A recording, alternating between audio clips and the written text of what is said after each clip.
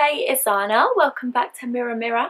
And if you're new here, hi, I'm an independent music artist. I write, record and produce my own music and I also film four videos a week here on my YouTube and this series is all about relationships because they are the key to life. So for this video, we're going to talk about how to how to trap, how to attract your tribe. And this is something that I actually was kind of like fearing before in childhood and stuff and I've realised now that it's actually pretty easy and pretty straightforward. So when you think about friendships or relationships or any kind of connection, what is it that we want? We want people that are on our wave, people that we relate to, people that we have things in common with, people that get us and understand who we are and allow us to be who we are. Like that's the main things that we want in a connection. So when you think about that, how can you attract that?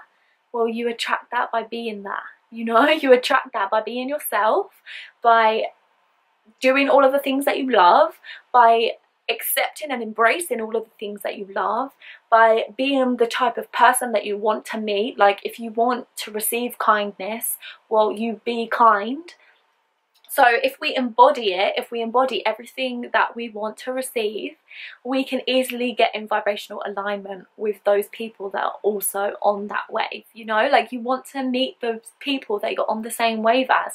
So you need to be on the wave of the people that you also want to meet, as well as like the lifestyle that you want, the romantic relationship that you want, everything you have to be in vibrational alignment with it so you literally become it you be yourself and you allow yourself to do all of the things that you actually love because then you're going to meet people who love those things too. And the connection that like the interaction that you have with them is going to be natural and effortless and it's going to vibe easily because you actually care about the same things you know? And this happened for me with my best friend. We finally met and we had no idea that we would have so much in common or that we would care about the same things. We literally had no idea until we met and we went for food and then we just ended up pouring out our whole life story to each other within the space of like an hour because it just flowed so naturally because we understood because we're on the same wave in the sense that we like the same things, we care about the same things, we've kind of had similar experiences, so it was easy to just express it and just be yourself, you know. But you can't do that if you're not being yourself. So a lot of the time when people are seeking their tribe and they're feeling like they're not connecting with them or they don't know where they are, they don't know how to find them, the focus needs to come back on you and who you are. Like instead of having the focus on the external and of like where are they? I don't know how to meet them. I don't know when they're gonna arrive. Bring the focus back to okay who are, who am I?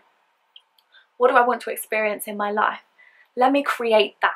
Like let me focus on myself and all of the things that I love doing all of the things that I enjoy creating the life that I want and watch the connections come in. It's not something that you have to go out searching for. It's not something that you need to actively seek.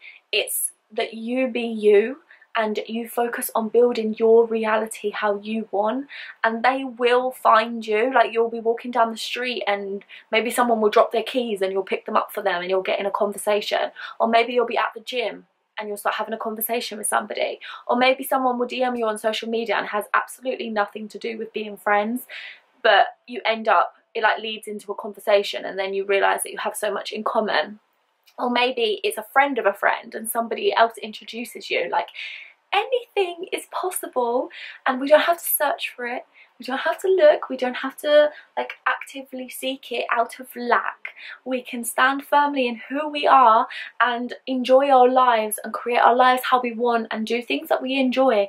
Go to the gym if that's something that you love and then naturally you will meet the people that are meant to be in your life you know? It can never leave you. It can never escape you if it's supposed to be for you.